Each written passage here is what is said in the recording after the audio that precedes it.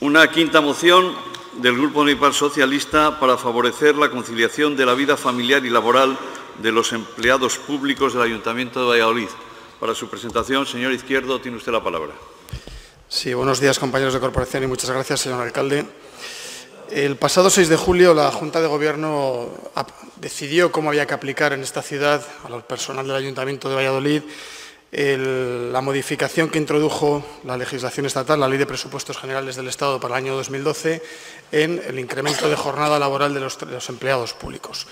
Hay que recordar que esa Ley de Presupuestos Generales, la verdad es que se ensañó con los empleados públicos, por un lado retirándoles la paga extra de Navidad y por otro lado incrementándoles la jornada laboral eh, eliminándoles algunos cuantos días de libre disposición, etcétera, etcétera. Son unas cuantas medidas que en algunos casos son de aplicación directa, como las pagas extras o la supresión de moscosos, y otras en las que cada administración tiene una cierta libertad para decidir cómo se aplicaba dicha normativa. Pues bien, en este caso, el Ayuntamiento de Valladolid, como digo, el 6 de julio adopta un acuerdo de su Junta de Gobierno en la que determina cómo tienen que llevar a cabo los trabajadores públicos las siete horas y media de jornada diaria laboral que tienen eh, que desempeñar. En este caso, la decisión ha sido fijar una parte eh, de horario fijo entre las ocho y media de la mañana y las dos y media de la tarde y la hora y media que falta para completar la jornada, llevarlo a cabo con una flexibilidad en un margen de dos horas, una por delante entre las siete y media y las ocho y media y otra al final de la mañana, ya casi en la tarde, entre las dos y media y las tres y media de la tarde.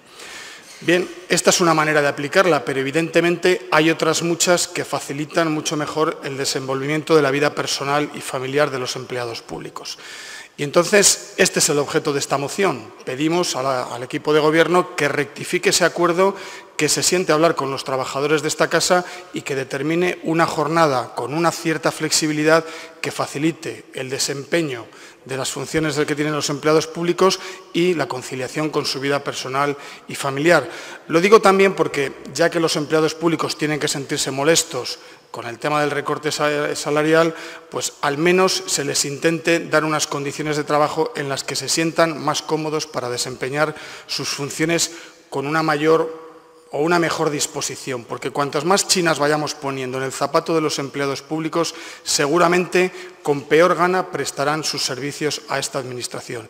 Y lo que les pedimos es sencillamente algo que es de lógica y que, como venimos viendo habitualmente, parece que es imposible en este Ayuntamiento. Siéntense con los trabajadores y fijen con ellos una jornada laboral que satisfaga mejor sus posibilidades de conciliar la vida familiar con la vida laboral. Muchas gracias. Gracias, señor Izquierdo. Izquierda Unida, la señora Sánchez. Muchas gracias y buenos días a, a todos y a todas.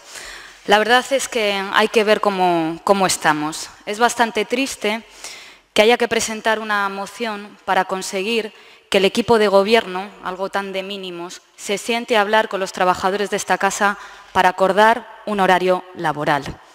Ni siquiera se trata de que el Grupo Socialista haya hablado por su cuenta con los trabajadores y trabajadoras, con la plantilla de este ayuntamiento, para traer una propuesta cerrada de horarios distinta a la aprobada, sino que se limita a instar a que se pongan a ello, señor Blanco. Lógicamente, nuestro grupo eh, va a apoyar esta moción, como no puede ser de otra manera, y sinceramente, si deciden no apoyarla ustedes, tenemos bastante curiosidad por conocer qué tipos de motivos se lo impiden. Es obvio que dar un margen de, ocho horas para desarrollar una jornada laboral de siete horas y media no es precisamente una medida ejemplar en cuanto a flexibilidad. Aunque el horario obligatorio se restrinja a seis horas, no hay un margen real para que ninguna persona, si lo necesita, pueda realmente acortar en determinados días su estancia en el puesto de trabajo, porque el margen para recuperar esas horas perdidas es apenas, de 30 minutos al día. Es decir, que en la práctica el horario que se cumplirá en esta casa será casi exactamente el mismo para alguien joven, por ejemplo, sin cargas familiares, que para una persona que deba llevar a una hija o a un hijo al colegio o a una escuela infantil o para quien tenga personas dependientes a su cargo. Sabemos de sobra, porque lo ponemos en documentos municipales además, que eso supone un lastre especialmente para las mujeres. Menudo ejemplo damos cuando pedimos desde un plan de igualdad flexibilidad horaria en empresas de nuestra ciudad y no somos capaces de facilitar la conciliación de la vida laboral y personal en nuestra propia plantilla. Además, creemos que en la mayoría de los puestos de trabajo esta rigidez no tiene justificación alguna. Y no tiene justificación alguna porque ni muchísimo menos todos los puestos de trabajo de esta casa son de cara al público. Es lógico que en estos de cara al público haya un horario estricto, pero en ningún caso se corresponde con la totalidad de la jornada diaria, por lo que podría darse mucho más margen para ajustar el resto de puestos a las necesidades de cada cual. Y, por supuesto, desde el Grupo Municipal de Izquierda Unida consideramos que para el resto de, la plantilla, la que no está cara al público, la flexibilidad debería ser tan amplia como lo permita el buen funcionamiento de todos los servicios públicos. Seguramente en unos casos podrá ser mayor y en otros mucho menor, como es normal. Por eso, lo que se pide es simplemente que escuchen las diferentes circunstancias y necesidades y se adapten lo mejor posible. Para continuar vamos a hacer como si las medidas de aumento de la jornada laboral, de recorte de salarios públicos o de subida de precios en el programa de madrugadores, por ejemplo, no tuvieran nada que ver con ustedes, con el equipo de gobierno. Dejemos a un lado que todo eso lo hace su partido, aunque sea en otras instituciones, y pensemos en que el ayuntamiento no puede hacer nada a ese respecto. Pero una cosa es que no pudieran hacer nada y otra bien distinta es que no lo tengamos en cuenta a la hora de regular este tipo de horarios. Por lo que sí que podemos hacer, creemos que es fácil y es sencillo, es pensar en alguien que trabaja hoy, por ejemplo, en el ayuntamiento y que ahora tiene que realizar más trabajo, es decir, trabajar más horas para cobrar menos. Quizá esa persona, si no tiene margen para adaptar sus horarios, tenga que dejar a su hijo o a su hija, o a los dos, imaginemos que tenga dos, en el colegio o en la escuela infantil antes porque no tiene flexibilidad en su horario laboral. Por tanto, tiene que pagar 35 euros más al día por llevar a sus hijos al programa de madrugadores. Así que, quizá por no poder, como decía, entrar un poco, un poco más tarde, señor Blanco, recuperándolo a mediodía cuando mejor pueda, con la flexibilización que se puede llegar, tendrá que pagar 70 euros al mes, cuando sabe que además, cuando sabe que además no es indispensable que comience su trabajo eh, desde las siete y media o las 8 de la mañana, porque hay puestos de trabajo que se pueden comenzar más tarde. Sí que es así.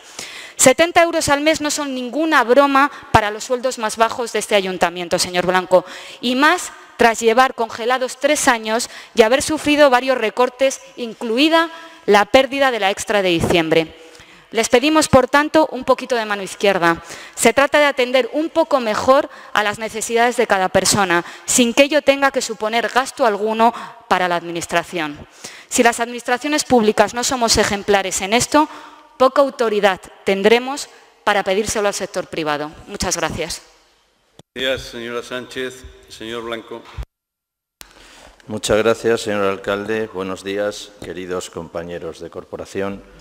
Pues bien, eh, casi casi voy a empezar por el final. Señora Sánchez, eh, usted eh, acredita pleno tras pleno, pues ha hablado con absoluto desconocimiento de lo que ha dicho. Sí, sí, ha hablado con absoluto desconocimiento. No sé si usted sabe, es verdad que no estaba, pero podía haberse informado que el presente acuerdo y convenio que rigen para los funcionarios y trabajadores del Ayuntamiento de Valladolid es el acuerdo y el convenio con más apoyo social de toda la historia de este ayuntamiento. Por tanto, señora Sánchez, no reclame que nos sentemos a hablar con los funcionarios y trabajadores o con sus representantes sindicales, porque eso ya lo hacemos y lo venimos haciendo desde hace muchos años y, por cierto, con muy buenos resultados. Los representantes sindicales saben que la puerta del concejal de personal permanece continuamente, permanentemente y diariamente abierta para cualquiera de las cuestiones que quieran plantear y así va a seguir siendo. Retomando ya el objeto de la moción, efectivamente estamos viviendo unos momentos de crisis económica y de recesión, especialmente agudizados en este segundo semestre del año 2012, que motivan la adopción de una serie de medidas de carácter urgente, de carácter temporal, para poder paliar los efectos de la crisis económica. Y efectivamente, dentro de estas medidas se está exigiendo un singular esfuerzo a todos los empleados públicos y también a los empleados públicos municipales. Pero, señor Izquierdo, es injusto decir que la Ley de Presupuestos Generales del año 2012 se ensañó con los funcionarios públicos, con las medidas que adoptó respecto a los mismos, y no decir que en el año 2010 hubo un decreto, más conocido como decretazo del gobierno socialista del señor Rodríguez Zapatero, que también, según su criterio, se debería haber calificado como ensañamiento respecto de los empleados públicos porque supuso un recorte por primera vez del 5% de sus retribuciones. Solo los empleados públicos lo saben también, aunque usted no lo diga. Pues bien, dentro de este singular esfuerzo que se, solicita a los empleados públicos se enmarca la Ley de Presupuestos Generales del año 2012 y concretamente su disposición adicional septuagésimo primera. Efectivamente, aquí se modifica la jornada laboral de todos los empleados públicos y se establece una jornada laboral no inferior a 37 horas y media semanales. Y lo primero que hay que decir y que tenían que haber dicho los portavoces de la oposición, es que esta normativa tiene carácter básico. ¿Qué significa tener carácter básico? Pues que es de obligado cumplimiento para todas las administraciones públicas. Y por eso el Ayuntamiento de Valladolid, con celeridad, adoptó en, Junta de Gobierno el acuerdo de modificar la jornada laboral que aparecía establecida en el acuerdo y convenios municipales adaptarla a la Ley de Presupuestos Generales del Estado. Por tanto, lo que también tenían que haber dicho los portavoces municipales es que el Ayuntamiento de Valladolid dispone de un escaso margen de maniobra para fijar la jornada laboral de los empleados públicos municipales, porque está vinculado a la normativa de carácter estatal. Y por supuesto que la jornada laboral que se ha adoptado es la que más beneficia al Ayuntamiento de Valladolid y la que más beneficia a la eficacia y a la eficiencia de la productividad laboral, porque las medidas que se adoptan por el equipo de gobierno municipal no se adoptan ni por capricho ni por conveniencia, se adopta previo estudios realizados al efecto. Y posteriormente, en la segunda intervención, ya le explicaré por qué se ha adoptado esta medida. Pero no quiero terminar esta primera intervención sin decir que por supuesto el equipo de gobierno municipal está firmemente comprometido con la conciliación de la vida laboral y familiar de los empleados públicos municipales. Y, prueba de ello son las numerosas medidas que aparecen recogidas en el acuerdo de funcionarios y en el convenio laboral, a las cuales, señora Sánchez, le aconsejo que se estudie. Muchas gracias. Gracias, señor Blanco. Señor Izquierdo. Sí, muchas gracias de nuevo, señor alcalde.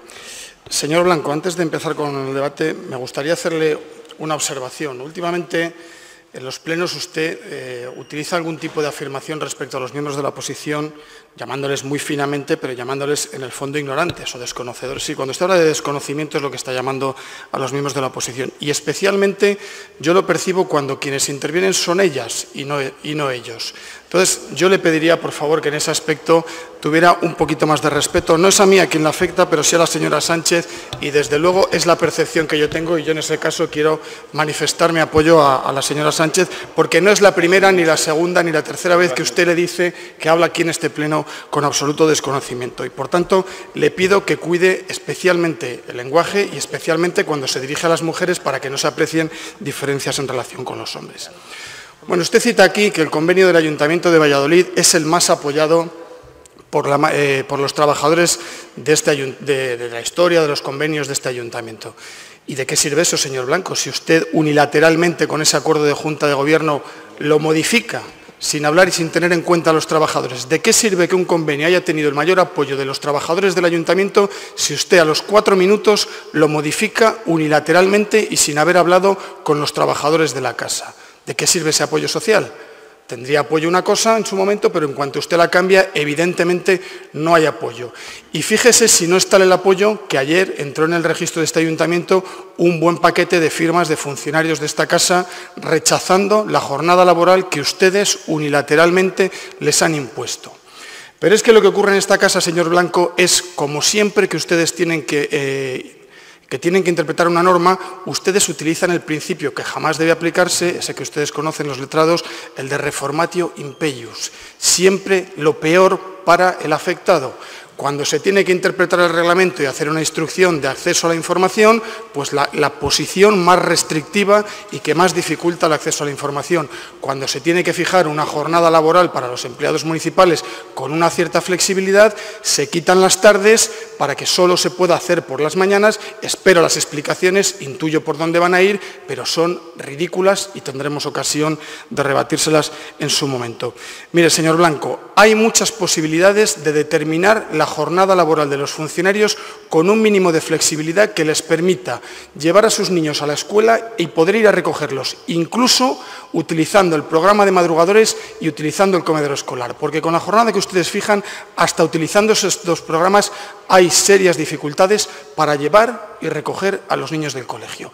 Eso es lo que ustedes no tienen en cuenta y cuando usted dice que este es el acuerdo que más beneficia al ayuntamiento, hombre, yo quería pensar que los trabajadores de la corporación son el ayuntamiento también y por tanto, ¿en qué beneficia al ayuntamiento? Explíquenoslo, porque desde luego a los cientos de trabajadores de este ayuntamiento no creo que les beneficie en absoluto. Yo, señor Alfredo Blanco, tengo la impresión de que usted hace como el actual presidente del Gobierno. El actual presidente del Gobierno también obtuvo un acuerdo con los sindicatos cuando era ministro de Presidencia, con un gran apoyo social, evidentemente, porque se firmó con las centrales sindicales mayoritarias, y a los cuatro días les congeló el salario y todos los incrementos salariales que había pactado con los sindicatos en aquellos años, allá por el 96-97. Recordará que hubo una sentencia que se ganó en primera instancia, que luego no, había pie de recurso y al final sí que se le dio la posibilidad de recurrirlo, pero esa es la actitud que ustedes han mantenido. Firman convenios que cuando quieren vulneran unilateralmente porque yo tengo serias dudas de que esto no esté vulnerando el derecho constitucional a la negociación colectiva, al menos del personal laboral del ayuntamiento, al menos del personal laboral de este ayuntamiento. Y por tanto, señor Blanco, yo espero gustoso sus explicaciones de en qué beneficia y es la postura más beneficiosa para el ayuntamiento, porque a la luz de las creo que 350 firmas que entraron ayer en el registro del ayuntamiento, me parece que no entienden las razones los trabajadores municipales. Explíqueselas a ver si nos están viendo por internet y de esa manera son capaces de entenderles a usted. Muchas gracias. Gracias, señor Izquierdo. Señora Sánchez. Muchas gracias. Como tengo bastante tiempo, yo creo que después de un año, señor Blanco, ha llegado el momento de contestarle. Le agradezco al señor Izquierdo sus palabras, pero quizá usted no esté muy acostumbrado a, a debatir con personas tan jóvenes y con mujeres, porque lamentablemente somos pocos, pocas las mujeres que llevamos temas de Hacienda. Entonces lo mismo usted no está acostumbrado y le parece muy raro y por eso siempre atribuye, no sé si por mi juventud, porque es más fácil decir que estudie. Ya he terminado la carrera desde hace tiempo, así que no tengo que estudiar, señor Blanco. También le quiero decir que ha dicho que acredito pleno tras pleno mi desconocimiento. Lo que acredita usted pleno tras pleno es que su pasatiempo favorito es faltar a la verdad, porque ha dicho que el acuerdo en este ayuntamiento es unánime. Y no es verdad, ¿Por qué si fuera unánime y que se ha hablado con trabajadores y trabajadoras, hay gente en esta casa que está recogiendo firmas en contra del acuerdo? ¿Por qué? Si está todo el mundo de acuerdo, ¿por qué se están recogiendo firmas? A nuestro grupo al menos ha llegado esa recogida de firmas. Supongo que a su mesa también habrá llegado. La verdad es que además resulta enormemente decepcionante comprobar la falta de sensibilidad social que tienen, por mucho que digan que están a favor de la conciliación. Si les cuesta pensar en la gente que trabaja con ustedes, que se cruzan en el día a día en los pasillos con ellos, para algo tan sencillo como simplemente sentarse a hablar, ¿qué vamos a esperar que les importe la ciudadanía en general? Evidentemente, si no se pueden ni sentar a hablar con los trabajadores de esta casa. Pensemos por un momento, más allá de esta moción concreta, en la situación general. De las medidas que se suelen citar para avanzar de manera decidida en la conciliación de la vida personal y laboral, suelen destacarse tres. Y las voy a citar para ver si estamos tan concienciados con la conciliación, si se llevan a cabo. La primera es a medio y largo plazo. Se trataría de reducir el tiempo de trabajo, tanto para mujeres como para hombres, con una transformación real de los tiempos en el ámbito laboral, para adaptar los tiempos no solo al ámbito económico y productivo, sino a la esfera social y humana.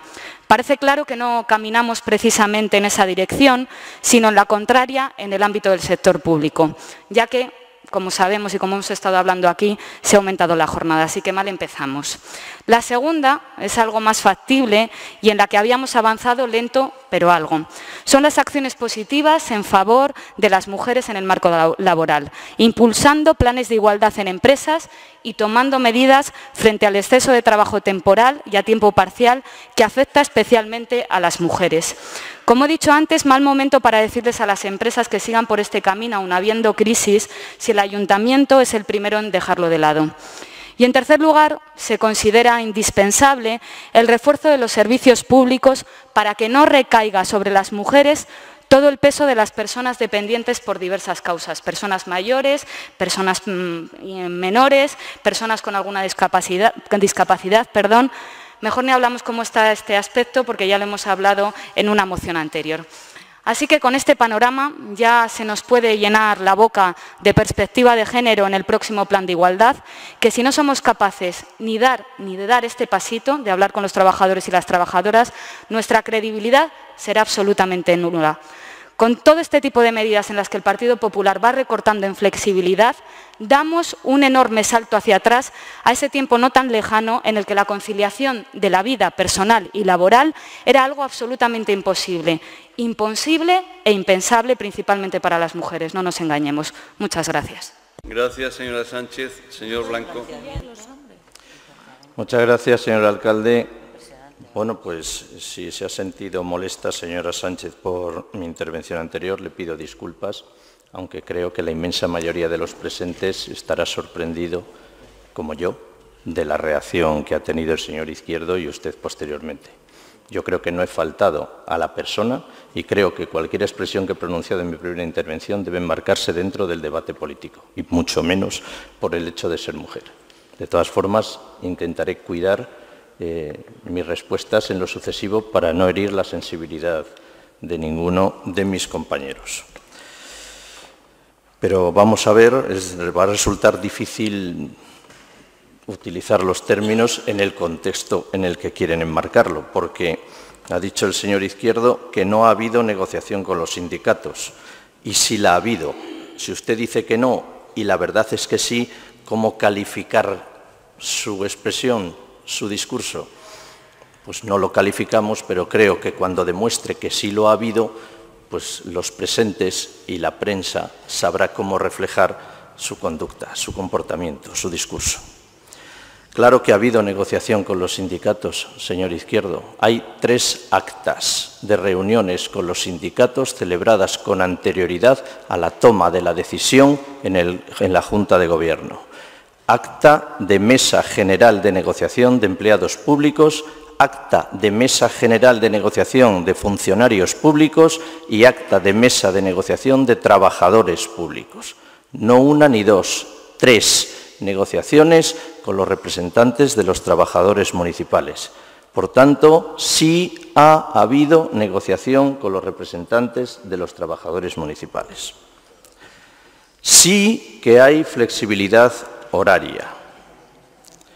Es verdad que en este punto no hubo acuerdo con los representantes sindicales, pero si leen las actas verán que sí hay acuerdos con los representantes sindicales en otros puntos, en este no. Por cierto, señora Sánchez, ha dicho que yo he dicho que el acuerdo y el convenio actuales hubo un acuerdo unánime. Yo no he dicho eso. No diga que falto a la verdad, es que no he dicho eso. He dicho que el acuerdo, y así se reflejará en el acta de esta sesión plenaria, el acuerdo y el convenio municipal, municipales actuales, son los que han contado con el mayor respaldo social de la historia del ayuntamiento, que no significa unanimidad. Una cosa es mayor respaldo social y otra cosa es unanimidad. Usted ha dicho que yo he dicho que había unanimidad y no lo he dicho. He dicho que era el acuerdo y el convenio con mayor respaldo social de toda la historia del Ayuntamiento de Valladolid. Pues sí hay flexibilidad horaria. A lo mejor no es la flexibilidad horaria que querían los representantes de los trabajadores, pero para ello hay que tener en cuenta a la hora de tomar la decisión determinados datos. Primero, esto que ustedes están dando tanto bombo afecta ni tan siquiera al 25% de la plantilla municipal, porque el resto de los funcionarios y trabajadores municipales tienen horarios especiales. Y me refiero a los trabajadores de policía, bomberos, limpieza, jardines, servicios sociales, educación o bibliotecas y registro. Segundo, se podría haber habilitado, como había antes, una jornada de tarde, pero en primer lugar no se hizo porque cuando existía se empleaba muy poco por los empleados públicos municipales. Y segundo, porque abrir una tarde en el Ayuntamiento de Valladolid supone un coste de más de 250.000 euros al año, entre personal de seguridad, entre iluminación, eh, abrir los ordenadores, calefacción, aire acondicionado, etcétera, etcétera. Y tercero, porque el trabajo eficiente de los empleados públicos municipales que lo desarrollan dentro de las unidades de trabajo requiere para que sea eficaz y eficiente el trabajo simultáneo en, en sus propias unidades. Partir el horario mañana y tarde va en contra de la productividad municipal y de la eficiencia en el trabajo. Por eso, por estas tres circunstancias, se ha adoptado la decisión que se ha adoptado. Y mire, Claro que hay medidas de conciliación de la vida laboral y familiar. Tenemos permisos retribuidos por matrimonio, tanto propio como si es de los padres, de los hijos o de los hermanos, que concilian la vida familiar y laboral. Tenemos reducción de jornada laboral para atender al cuidado de menores de 12 años, de mayores o de personas eh, eh, enfermas.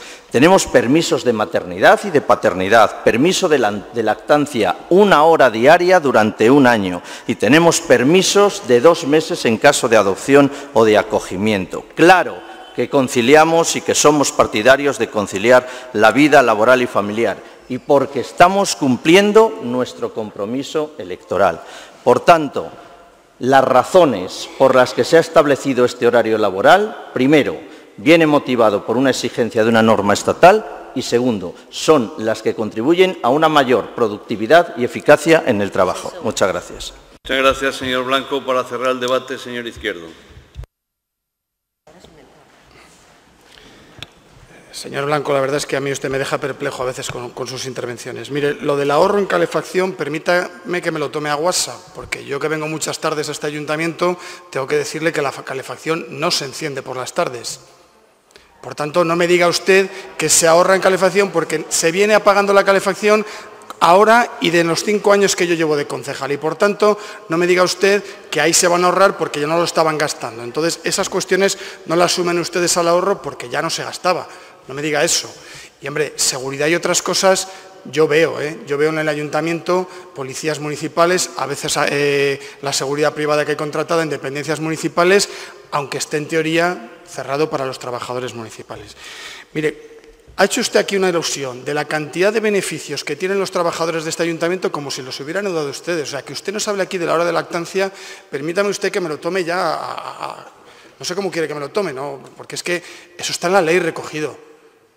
Eso está en la ley. Ese es un derecho de las trabajadoras que está reconocido en la ley. No es una gracia que usted les haya dado en el convenio ni en los acuerdos con los funcionarios. No venda usted motos que no andan, señor Blanco. No venda motos que no andan porque eso no es cierto. La hora de lactancia, como otras de las muchas cosas que usted ha citado, los permisos de matrimonio, los de paternidad, etcétera, etcétera, son derechos que se han ampliado además bajo gobierno socialista, no bajo su gobierno. Y ustedes, que tienen una concejalía de familia y una consejería de familia, familia, familia, familia, les preocupa tanto la familia, pero en este caso hemos visto en los últimos años, en los dos últimos años, cómo los recortes de la Junta de Castilla y León en ayudas a la conciliación han, sido tremendos, tremendos. Se han quedado prácticamente sin dinero para las líneas que había de apoyo a la conciliación de la vida familiar y laboral. Y para una cosita que ustedes podían hacer aquí, que es flexibilizar un poquito dentro del marco que da el Estado decir háganse siete horas y media al día, flexibilicen, ustedes la jornada para que los trabajadores municipales puedan conciliar, hombre, a usted un 25% parece que le parece poco, yo creo que es una parte importante de los trabajadores de este ayuntamiento. Si a usted le parecen pocos, pues nada, fenomenal, es como lo del volardo, 31 coches son muy pocos también. Sigan ustedes con esas estadísticas porque está claro que parece que mientras no pasen del 80% a ustedes no le van a preocupar. Decía, para una cosa que ustedes pueden hacer flexibilizándola hablándola, porque usted habla de un acuerdo en el que se meten muchas cosas y usted mismo acaba de decir que los sindicatos no era la jornada que a ellos les habría gustado. Y por tanto, como usted mete más cosas en el saco de una negociación, a veces se renuncia a unas cosas para conseguir otras que pueden ser más ventajosas, a sabiendas de que eso tampoco les gusta. Y usted que tiene la posibilidad de flexibilizar ese horario para, como digo, incluso utilizando el programa de madrugadores y el comedor escolar, los trabajadores de esta casa puedan llevar y traer a sus hijos con tranquilidad y cumplir la jornada laboral, eso seguro que va a contribuir más en la productividad y no a pelotonarles el horario y estar cabreados por este tipo de jornada que ustedes les imponen. Ustedes llevan una temporada ninguneando la labor de los funcionarios públicos. Han contratado un plan general que nos cuesta 800.000 euros y sabemos que se podía haber hecho dentro de la casa.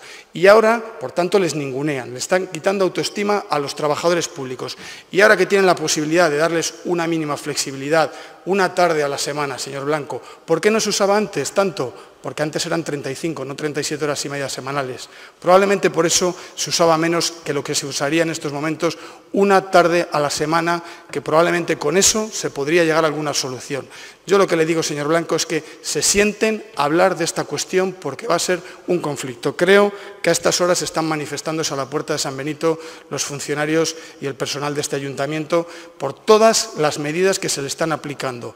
Recortes salariales y recortes en derechos como este, el de no poder ni siquiera conciliar su trabajo con su vida personal y familiar. Recapaciten y solo les pedimos que se sienten a hablar con ellos y que revisen este acuerdo, esta propuesta de que ustedes han aprobado de flexibilidad del horario de los trabajadores públicos. Muchas gracias.